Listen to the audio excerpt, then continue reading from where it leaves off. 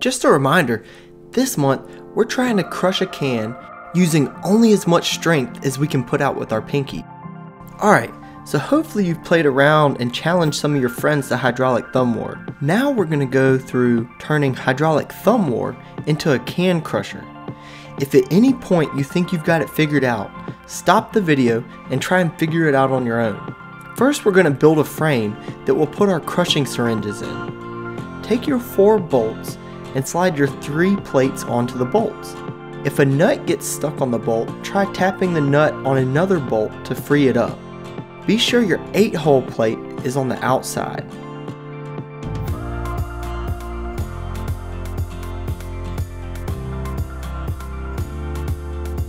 And make sure that your two limit spacers are installed between the two 4 hole plates just like this.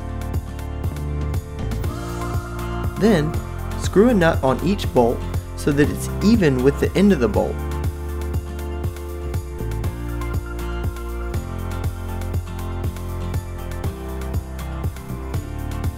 Now, what happens if we just go ahead and put hydraulic thumb war into this frame? Huh, it doesn't seem like it's gonna work. It doesn't move enough, and I don't even know if we'd have enough mechanical advantage. Okay, what if we were to slip four of these syringes in?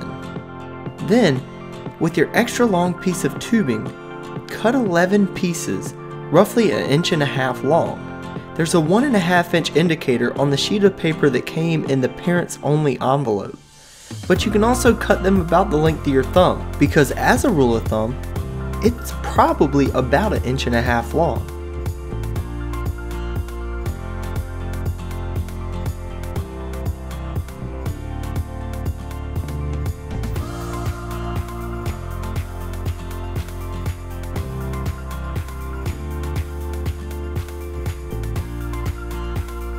Then, go ahead and install an adapter on each syringe.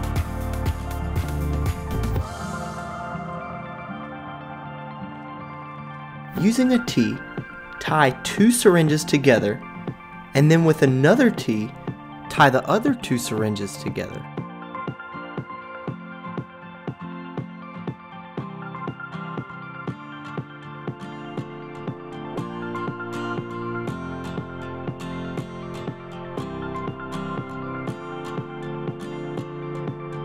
Now we can use a third T to tie all four syringes together.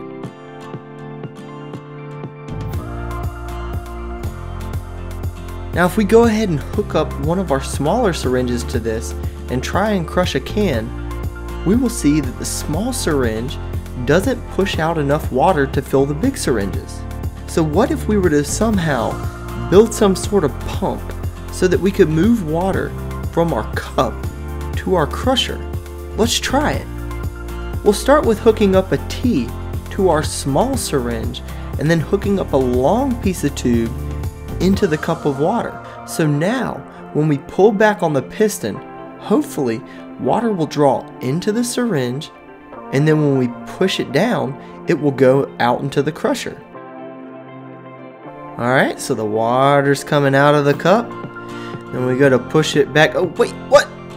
It's going back into the cup. Huh. That didn't work. But what if we were to somehow use this check valve? If you blow into the check valve, you'll see that it only lets air pass through one way. It's kind of like a one-way street for air or water. Look at the valve and you'll see a little arrow on it that points which way it lets water flow. Okay, let's hook up this one check valve to the side of the T going into the cup so that water can only come out of the cup and not back into it. Now let's try it again.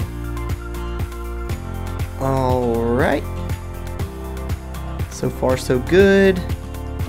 Wait, now the water is coming back from the crushing syringes.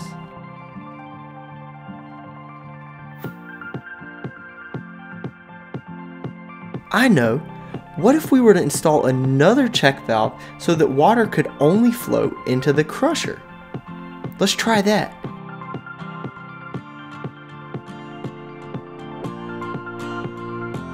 Alright, so let's pull this back apart, set this down. Oops, forgot about Bernoulli and his siphon effect. Let's put this in back in the cup before we make a mess.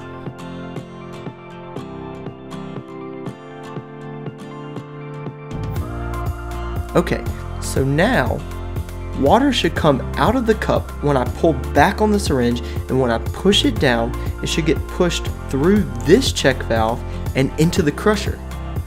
Sweet, it works. Now before we crush the can, I want to see what happens if we use the tiny syringe. Oh my goodness, this is so easy to crush. So the smaller syringe makes it easier to crush, but you have to pump it more. That makes sense because it has more mechanical advantage. In fact, this little syringe has 120 times mechanical advantage. That means that 1 pound of force in on the little syringe is equal to 120 pounds of force out of the crushing syringes. 10 pounds of force in is 1,200 pounds of force out. To see a little more about how this works, check out our lesson video.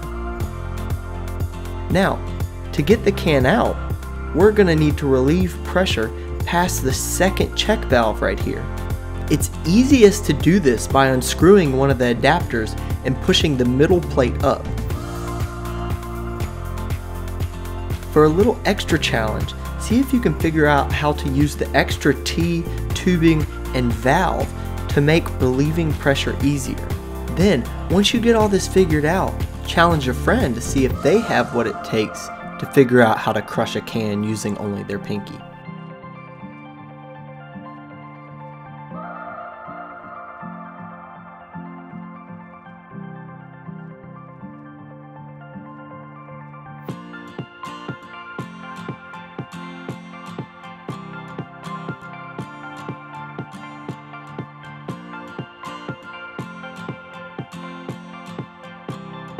And lastly, don't forget about our Innovation Challenge. We give away a cool prize like a drone every month. For the Innovation Challenge, think of how you could use something you learned with this crate to solve some sort of problem. Maybe you'd like to make a can crushing station by the trash can so you don't have to take the trash out as often. Or maybe you turn hydraulic thumb war into a light switch remote so that you can turn on the lights while in bed. Then, to enter, ask your parents to share your idea with us on social media. Have fun. We can't wait to see what you come up with.